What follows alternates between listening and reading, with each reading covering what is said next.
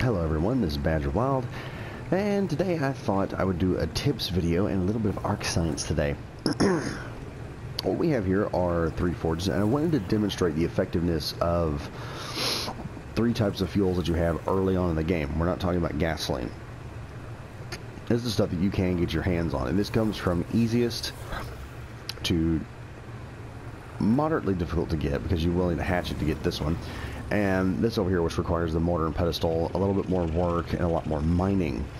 So just to show you guys what we have here, we have a fully stocked metal forge or smithy with about three pieces of thatch. And our next one, number two, we have, wait, why do we have one piece of wood in there? Okay, so we got three pieces of wood in this middle one, and I'm worried here. There's nothing in this one. Hmm.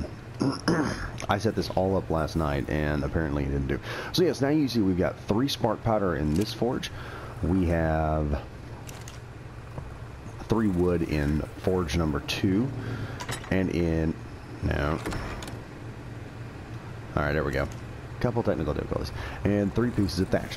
So what I'm going to do is I'm going to turn these three forges on because I've noticed some people have probably been watching. And when I first saw this Jay was the one that introduced me to this.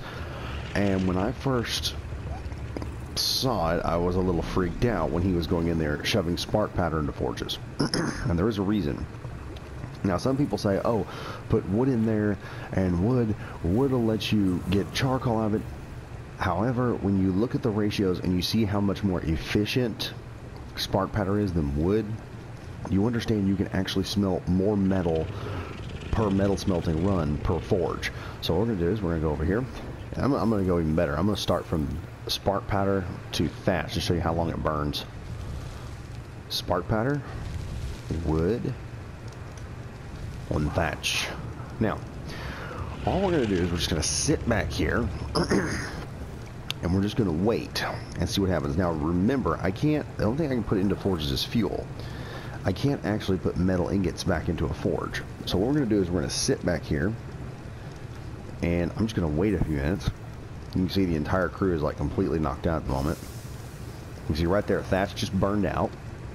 So that one's done. We're going to wait till everything is finished here.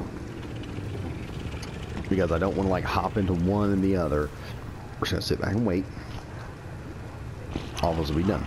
And like I said, spark powder is more effective. You can actually get lots of it. Uh, some people don't realize this, but you actually take a mortar and pedestal, and I'll show this in a video on how to ratio and like super efficient your mortar and pedestals out to where if you can figure out what the ratio is, you can then do some a little bit of basic mathematics and figure out how to super efficient your forges to where or all your um, mortar and pedestals because then they'll be you'll be getting the maximum amount of equipment out of your forge that you can get your hands on or your mortar and pedestals. And with spark powder what I normally do is I will put I think four pieces of stone four stacks of stone in a mortar and pedestal and then I will boost that sucker. There we go Alright, wood's gone down. So what I'll do in the mortar and pedestals is I will just put four of one minor, and I'll, I'll do a video on it. It's, it's actually quite explanatory. Apparently we had somebody, something is walking around outside the base. I don't know what that is.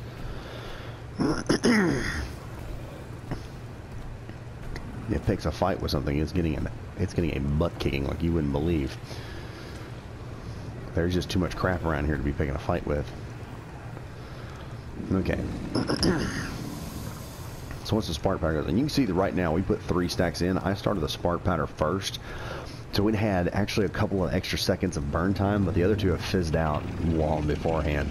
So wood did not last as long. But here's here's the thing. It's not just how long it lasts.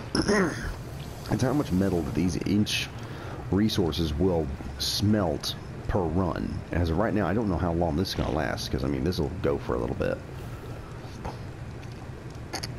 And like I said, proof is in the pudding. If you want to look at the video, you can go right back to the video and see which one of these does what. I'm going to get my shotgun out and shoot that stupid animal outside. But yeah, right here, this thing is taking forever at the moment. Spark powder burns. There we go. Alright, spark powder has burned. Now, as you saw right there, spark powder burns way longer, almost twice as long as wood in comparable numbers. Now in this forge we had three thatch, three wood in forge number two, and three spark powder in forge number three. So let's start with forge thatch. And we have one metal ingot right here. So thatch is giving us one metal ingot. Remember that. So let's go over here and check out forge number two. Thatch is inefficient. This is what everyone likes to use. Is what everyone likes to use in their forges is wood. But let's take a look. Yes, you got three charcoal, and we even ended up with four metal ingots.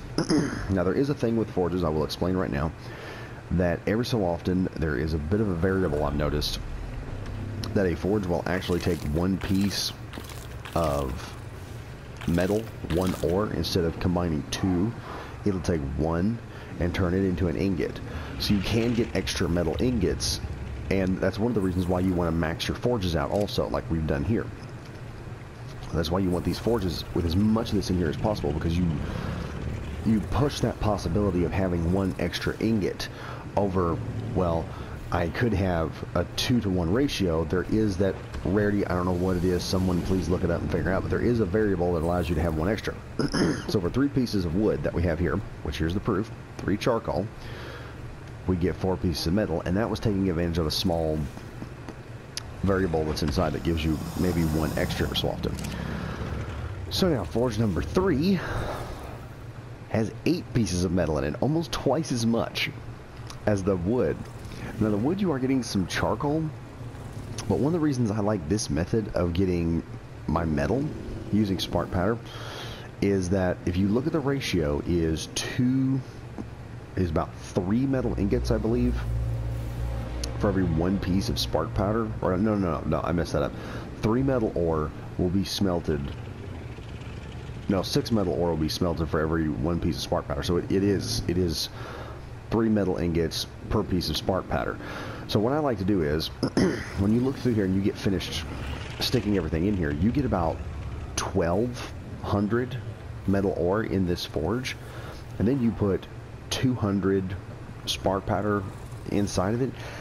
That is more than enough to run a vast majority of your metal. You may have to put a little bit in afterward, but we're talking like 10 or 15 spark powder if you're like me and you like to smelt your metal in mass, especially when you don't have the industrial forge, this is the best way to do it. Because you can just stack this whole top row full of metal. And then you can just put two pieces of spark powder in here and that'll just run.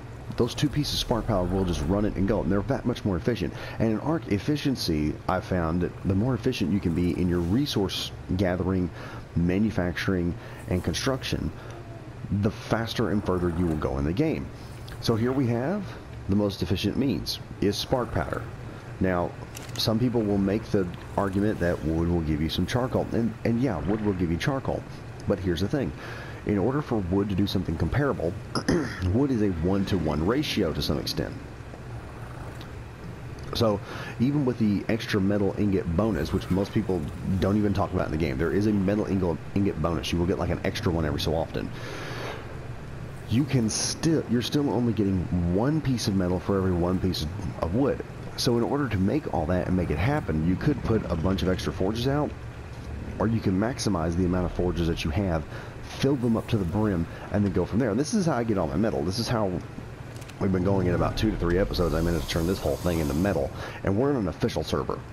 This is an official server. This is not a, a server with extra extra resources or anything else. We're just working on the official server doing all this. So this enables you to build up your your resources will go up faster, you can build them more efficiently, and hopefully go up them levels much quicker. But as of right now, I got to fill the rest of these forges that back up with spark powder, and possibly take the new Quetzal we have out to go get more metal. So this is Badger Wild, letting you all know it's not how hard you play the Ark, it's how smart you play the Ark. And I'll see you guys next time.